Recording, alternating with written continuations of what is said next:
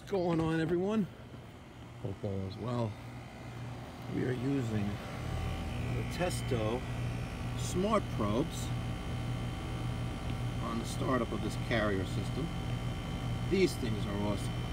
You have your clamp-on temperature probes and you have your pressure probes. Pretty sick. And they all connect by Bluetooth to an app. Oh, look at that. Trying uh, glare here for you. Well, take a look at that. Pretty cool, huh? Yeah, not so bad. You know, this is my second set. I actually lost the set a couple of years ago. I think two summers ago. I don't know, it just disappeared out of the truck. Maybe I left it somewhere, or maybe someone stole it, who knows, but the, uh, the Testo Smart Probes come with this cool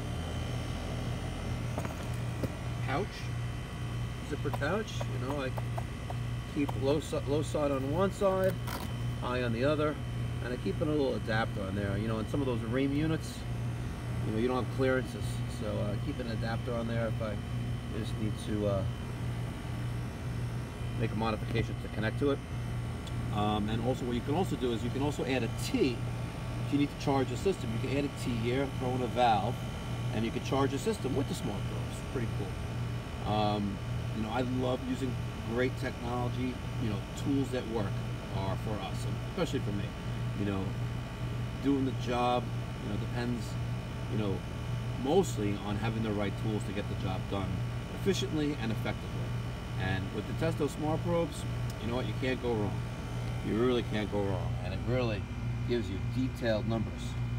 Take a look at this system, you know, we're slightly undercharged. You know, we have six degrees of subcooling on this TXV system. So we're gonna add a little bit of refrigerant to this. But again, I just wanted to show you the Testo Smart Probes in action. It connects by Bluetooth. Easy peasy.